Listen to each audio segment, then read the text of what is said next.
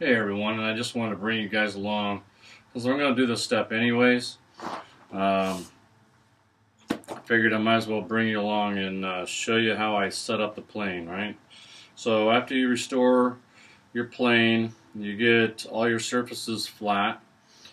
Uh, you get your cutter all sharpened up and everything, and you're ready to work, right? Not yet, not yet. Still one more step to do and that's to set up your cutter to where it's cutting the same amount of material on both the right hand side and the left hand side of the cutter. So to do that, you'd back the cutter out until you're cutting nothing. Now that's just a board that I've got set up, piece of pine that I, I use to set up all my planes. So it's not taking anything right now.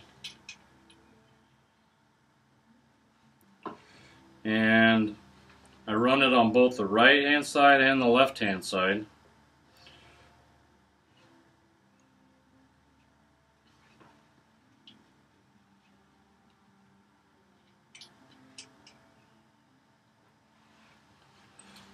And I'm not taking anything. So I'll just advance the cutter slowly until you're cutting something on either the right or the left. I'm kind of bouncing back and forth as I'm adjusting, advancing the cutter in. Now right here, it just barely started taking a shaving on the right hand side, not taking anything on the left. So I want to move my lateral adjustment in the same direction that it's taking the shaving on. So it's taking the shaving on the right, I'm going to move my lateral adjustment very lightly to the right. Still taking a shaving on the right, nothing on the left. So keep moving it.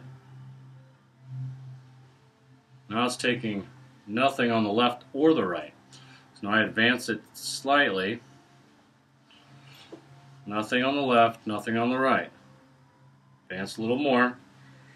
Nothing on the right, nothing on the left. Advance a little more.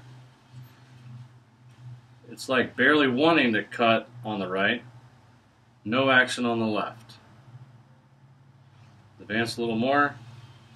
Now I have a super tiny shaving on the right, nothing on the left. So just move it over. Taking a shaving on the right and not on the left, so move it over again. It's like taking angel hair right now. Nothing on the right, nothing on the left. Advance it a little more. Nothing on the left, nothing on the right. Advance. Now it's barely taking something on the left. Barely taking something on the right. I know I went a, a hair too far. So I backed it up just a little bit and I advanced a little more so I can see the cut.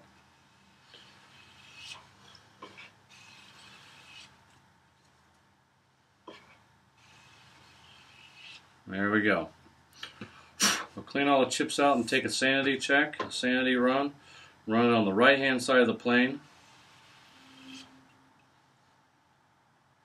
Man, it's so fine it like crumbles in your hand. Same thing on the left. And right down the middle. Same, same. I mean, that's like it floats. It's so light. It like, it like floats away. It's kind of cool. So now, I know I'm taking the same amount on both sides of the cutter. My cutter's sharp. My plane is flat and true. And I am ready to put this plane to work. So that was a quick down and dirty on how I set up a plane. Uh, if you have any questions or comments, uh, leave them down below. Uh, if you like what I'm doing, you know, thumbs up, subscribe. Friends and family love you. And it's time to go flatten up that bench. I'll see you soon.